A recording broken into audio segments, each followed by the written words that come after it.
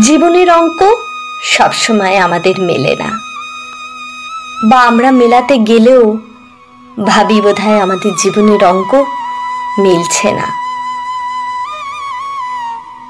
এরকমই এক নামেলা অঙ্কের হিসেব আজ শোনাব কবি জেম মোশারফ হোসেনের লেখা কবিতা নামেলা অঙ্কতে।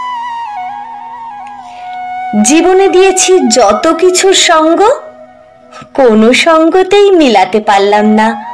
অঙ্ক।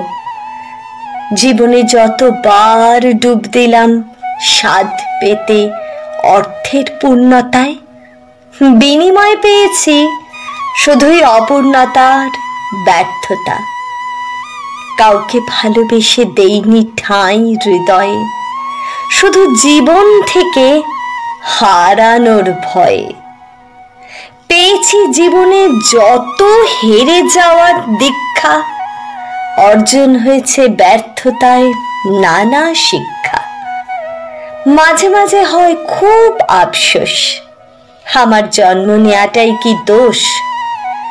কয়েকবার গিয়েছি উদ্দেশ্য নিয়ে গন্তব্যে, পারিনি আসতে কারও ভালো মন্তব্যে।